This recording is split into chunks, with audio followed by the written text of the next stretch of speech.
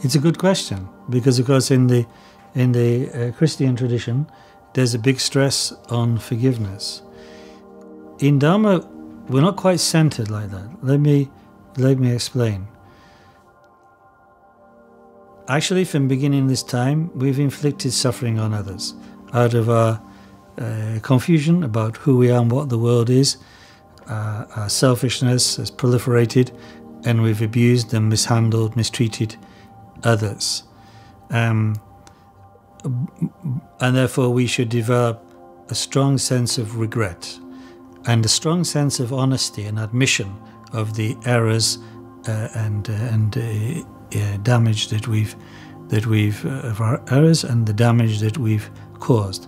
Without this strong sense of regret, uh, the purification of these uh, non virtuous actions is not possible. So, Buddha strongly stressed confession of, of negative actions in order to regain the possibility uh, or, or to find the possibility of overcoming selfishness. We have the capability of that because no matter how many non virtuous actions we've done, the fundamental core of our mind remains pure. So, restoration to that is always possible, but it must arise out of a sincere regret and a confession. Now, to make our confession and our commitment not to repeat these errors stronger, we can call upon, of course, the, if, you like, the power of uh, the three jewels, the power of the deities, and so on, because they represent the power of our primordially pure mind. So, in resting in that, we can overcome all errors and all and all selfishness. But it's not that we that we um, uh, are, are, as it were, apologizing to it or or, or or, or something like like that.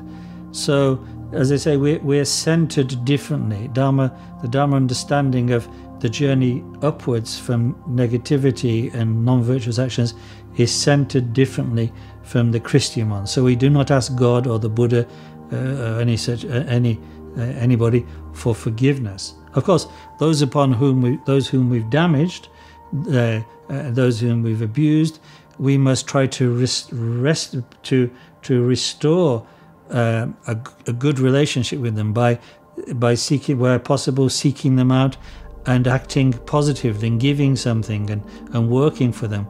Those whom we've harmed, we have a special debt to, and we should seek to, to, to, to pay off that debt by kindness and compassion.